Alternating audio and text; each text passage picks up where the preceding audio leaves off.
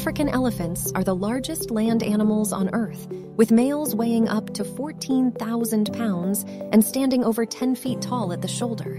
These gentle giants are found in various habitats throughout Africa, from the savannas and grasslands to the forests and deserts.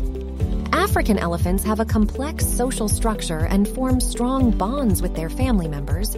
They communicate with each other using a variety of vocalizations, body language, and even vibrations in the ground.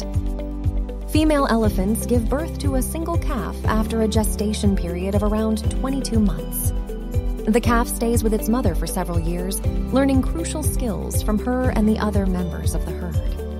Despite being an iconic and beloved species, African elephants face numerous threats, including habitat loss, poaching for their ivory tusks, and human wildlife conflict. Conservation efforts are underway to protect African elephants.